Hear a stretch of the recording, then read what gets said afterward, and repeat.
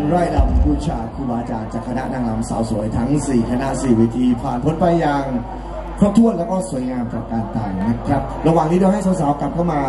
ประจำที่กันอีกสักครั้งนะครับกล่าวสวัสดีทักทายแฟนๆนักรำที่ค่ำคืนนี้เรียกได้ว่าให้การต้อนรับกันแบบหนาฟ้าข้างนะครับ เต็มพื้นที่กันไปหมดเลยนะฮะคืนสุดท้ายของทางงานกันแล้วเพราะว่าถ้าพลาดคืนนี้นี่ต้องรอปีหน้าเลยสำหรับงานประจำปีของทางวัดถ้ำแก้ว เดี๋ยวอีก สักครู่หนึ่งเราได้เปิดฟอร์สนุกสนานกันเป็นที่แน่นอนนะครับ แต่ว่าลำดับนี้นั้นจะเป็นการจัด ให้ได้ลำของน้องๆนางรำทั้ง 4 คณะเพื่อถวายสิ่งศักดิ์สิทธิ์อันประกอบไปด้วย อดีตเจ้าอาวาสคือหลวงพ่ออกนะครับ แล้วก็องค์หลวงพ่อดำศักดิ์สิทธิ์รวมถึงท้าวเวสสุวรรณและสิ่งศักดิ์สิทธิ์ต่างๆ ที่ดูแลคุ้มครองวัดถ้ำแก้วแห่งนี้ตามความประสงค์ของฝ่ายจัดแล้วก็อ่าศิานุศิษย์ทุกๆท่านนะครับที่มีส่วนร่วมในการจัดงานประจำปีในครั้งนี้นะครับ และในรอบแรกนั้นถวายสิ่งศักดิ์สิทธิ์กันในจังหวะตะลุงกับบทเพลงแม่พวงมะนาวครับ